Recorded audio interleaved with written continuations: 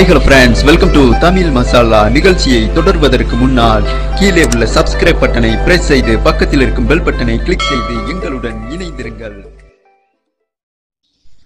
India verse Australia இரண்டாவது டெஸ்டில் கோலி எடுத்த முடிவால் தல தோனி உள்பட பல முன்னாள் வீரர்கள் அதிருப்தியில் உள்ளனர். சற்று முன் பிளே ஆகி கொண்டிருக்கும் இந்தியா வெர்ஸ் ஆஸ்திரேலியா இரண்டாவது டெஸ்டில் கேப்டன் கோலி இந்திய ஸ்குவாடில் நான்கு வேகப்பந்து வீச்சாளர் ஒரு ஆல்ரவுண்டர் ஹனுமா விகாரியை தேர்வு செய்துள்ளார். இந்த தேர்வு குறித்து பேசிய தோனி அண்ட் சேவாக் ஆஸ்திரேலியா வீரர்கள் இயல்பாகவே வேகப்பந்தை எதிர்கொள்ளும் திறன் கொண்டவர்கள். அதே சமயம் முதல் டெஸ்டில் ஆஸ்திரேலியா வீரர்கள் ஆஸ்வின் சுழலை எதிர்கொள்ள மிகவும் சிரமப்பட்டனர். இதை புரிந்தும் கேப்டன் கோலி இந்திய டீம் ஸ்குவாடில் நான்கு ஃபாஸ்ட் பவுலரை ஏன் தேர்வு செய்தார் என்றும் குறிப்பாக அனுபவம் வாய்ந்த ஸ்பின்னர் அஸ்வின் குல்தீப் யாதவ் அண்ட் ஜடேஜா. இந்த மூவரில் ஒருவரை தேர்வு செய்யாமல் உமேஷ் யாதவ் தேர்வு மிகவும் பைத்தியகரத்தனமாக உள்ளது.